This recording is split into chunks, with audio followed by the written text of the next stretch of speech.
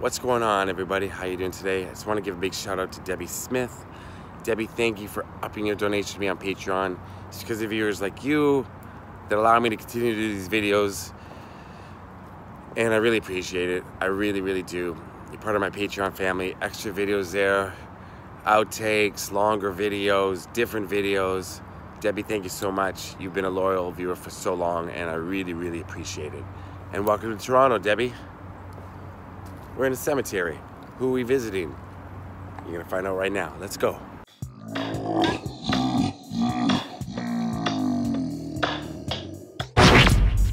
I know you're gonna dig this.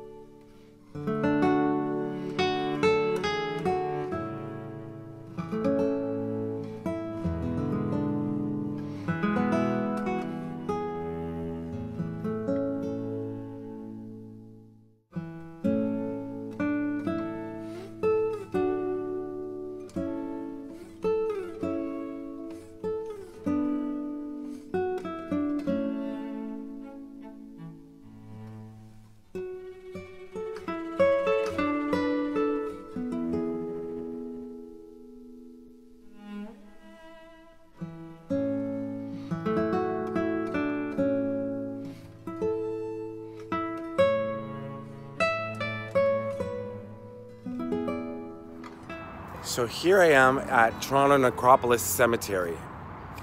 Now this little cemetery, it's not as little as I thought actually. I've never been to it before. I knew it was here and I knew that George Romero, the famous American film director, was buried here. But I've never actually been to this cemetery here in Toronto. Right over there, you can hear the hum of the traffic. That's Don Valley Parkway and Rosedale Valley Roads up, up there, the Bayview Extension. So major thoroughfares run right by it. I used to drive when I would leave uh, the clubs downtown, go to where I used to live at the apartments over here, go right past it every night, all the time, never knowing this was here. I'm glad I'm here. It's a beautiful little place.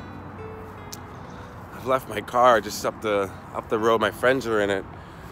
There, as soon as we got into the cemetery, they're, they're very quiet, very and are we allowed to drive through this cemetery? Are we allowed to park here?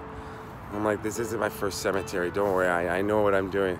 It was quite cute to, to kind of see, bring people along that don't normally visit cemeteries unless it's for a very sad occasion. And now this is sad, always visiting someone's grave, but I'm also here to honor the life of George Romero. One of the most famous film directors of all time who created the zombie craze. Welcome to a night of total terror.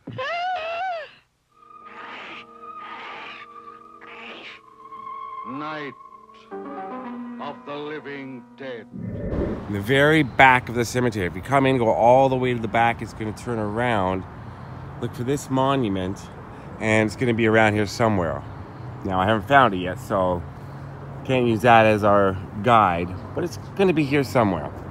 So, if you're not familiar with George Romero, George Romero was born in New York City. Then he went to Carnegie Mellon in Pittsburgh. And that's where he made a lot of his movies, Pittsburgh. Pittsburgh became his favorite city to make movies in. And him and a few friends formed a little company. They each put in 10 grand for a budget of $100,000 and made a movie called Night of the Living Dead, which became a huge cult classic. Huge. And then he made a few other movies. Didn't do as well, that weren't part of the zombie genre. And then he went back to it and made Dawn of the Dead, which was another big, huge hit. So he's pretty much the master of the zombie genre. And here he is right here.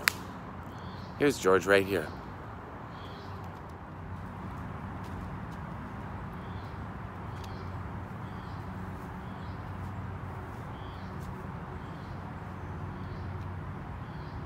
Reads George A. Romero, 1940 to 2017. He loved and was loved. Suzanne C. Desroches Romero, 1958. And then down here it reads Now cracks a noble heart. Good night, sweet prince, and flights of angels sing thee to thy rest.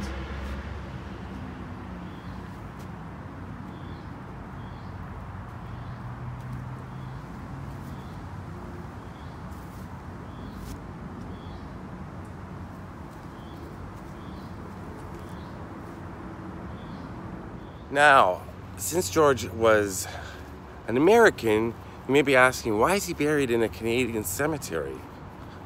Why is he buried in Toronto? Well, he married a Canadian.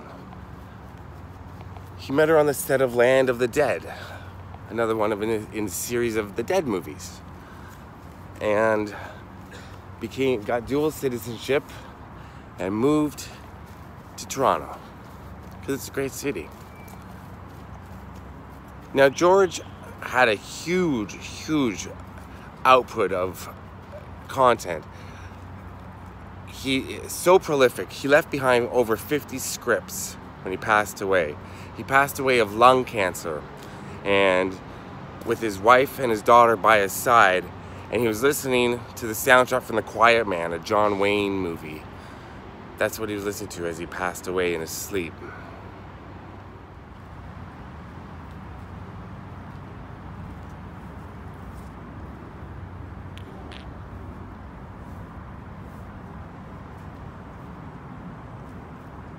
Well, uh, w- what is the appeal? Do you know? Is, is it worth analyzing, or should we just say it's just fun to be scared? Have you given any thought to why horror is something people willingly subject themselves to? I think it's fun. I think uh, people enjoy seeing a horror film or reading a, a scary book uh, the way they enjoy going into a laugh in the dark or on a roller coaster ride. You go in knowing, or you go in with high expectations. And I think the ones that work on that audience are the ones that really pay off. In other words, the ones that give you that little zets and give you that involuntary response reaction to it that you went in hoping to get. Did you know that George Romero was in Silence of the Lambs?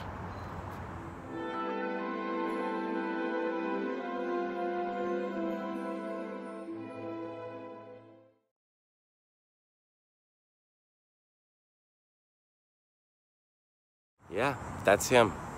Little cameo, Silence of the Lambs. Another movie that George uh, is famous for is Creepshow, 1982, that he collaborated with Stephen King. He collaborated with Stephen King on a few things, but Creepshow was a huge hit in 1982. It was Warner Brothers' highest-grossing horror film, and it was not about the, uh, the zombie genre. And then he did, after Land of the Dead, he did, I think, um, Day of the Dead, Diary of the Dead. He contributed to a lot of video games. Uh, the man had his hand in everything. Such an incredible artist. And I actually, I was really into horror movies when I was little, like in the 80s and 90s and stuff. And I discovered Night of the Living Dead, the remake, which he executive produced, and Tom Savini, the famous uh, makeup artist, directed. And George Romero was right there helping him out. So I saw that, and I saw, I thought that was amazing. And then I found out it was a remake. I was just, I was, I was an idiot. I was a little kid. So I was like, "What? There's a real, there's another one?" None of. Then I saw the original from the '60s, and the amount of gore in that was shocking at the time. Reader's Digest actually wrote an article about it saying, "Don't see this movie. It's so disgusting." Blah blah. And of course, if you're gonna write that, that's gonna make people want to see the movie more. And so Reader's Digest negative review and saying, "Don't see this movie because it's disgusting," helps Night of the Living Dead. But yeah, I discovered it because of the remake, which I loved, and then I loved the original a little bit more, of course, because it it's got something. It's got a certain rawness to it that's incredible. Same with Dawn of the Dead. I love uh, the original from 1978, somewhere around then, but I also love the remake, which was filmed here in Toronto as well. Hmm, I wonder if I'll be doing those locations.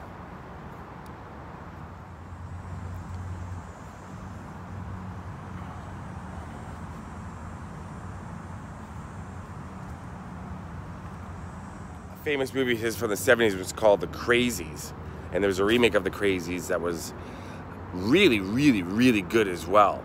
The Crazies wasn't really well received in the 70s when it came out, and the remake, well, I can't remember if it was well received, but it was well received by me. I loved it. I highly recommend The Crazies. That's a great, eerie, weird, scary, cool movie.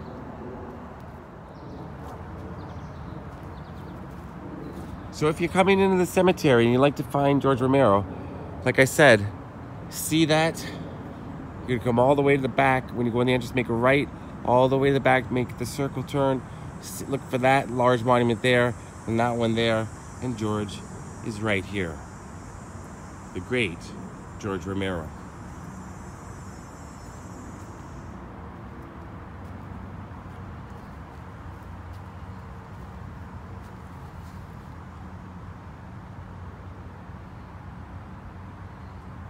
All right, well, that's it for today's video from Toronto Necropolis Cemetery. George Romero, peace to you. I hope you're resting comfortably. Now, I wanted to make some zombie jokes. I think George would appreciate that. I didn't, though. But he had a great sense of humor. And he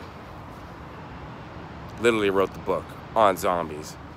And I'm in a cemetery visiting the master of the zombie genre, George Romero. Right there. At I think he's still under there. All right, George Romero. Peace, man. I love this man. I love all of you. Thank you for watching. Peace And another way to find George is look for Section P, the sign that says Section P on the tree. Look to your right. Right down there, just past Smith here. And George is right behind this little monument. And on the side, I'm not sure what is what this. These are other graves here on the side. I'm guessing. Mother, Henny, but I think they're this way. I'm sorry that I'm walking on them, but as I've said before in other videos, sometimes in cemeteries, graves are very small that you don't notice, and you do have to walk across some of them, which is part of walking through a cemetery. I don't find it disrespectful. People come out and sit on graves, lay across them, have picnics on them. I've seen it all.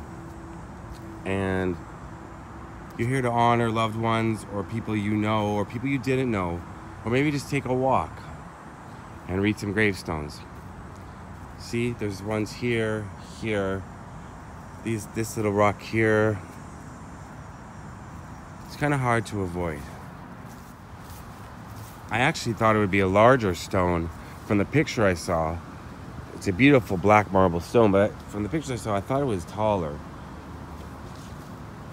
You can tell it's a well tended to grave that the family comes out here. I assume it's the family, maybe some fans too, leaving flowers. This uh, flower arrangement here as well. This is obviously been planted here, and the garland flowers around it. Very, very nice. As you can see, as I told you before, it says he loved and was loved. George Romero was deeply loved by his family. He had a few kids. I think he had one, two, three, four, three or four kids. And beloved throughout the film industry as a pioneer and known as a genuinely nice person. For all the horror output and gore and scary stuff that he put out there in the world, I might have heard quite a sweet man. And he loved Toronto. So that says something about him. Toronto is a great city. Rest in peace, George.